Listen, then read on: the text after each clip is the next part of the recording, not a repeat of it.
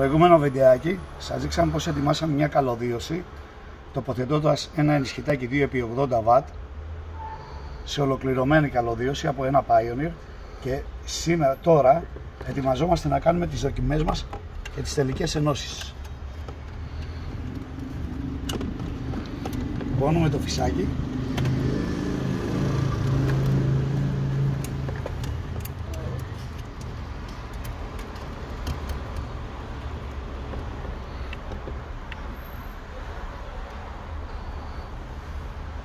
Βάνισε τη μόδα με παντόφλα. Δώσε στυλ σε κάθε και βήμα. όλα έγιναν μια... Παίξε με τα σχέδια και όλα δουλεύουν στην εντέλεια.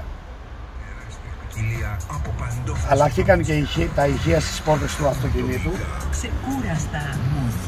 τα Twitter απάνω, .gr. στις ίδιες θέσεις Σήμερα αυτά και είμαστε έτοιμοι για την τελική τοποθέτηση. 43 Περιστέρι.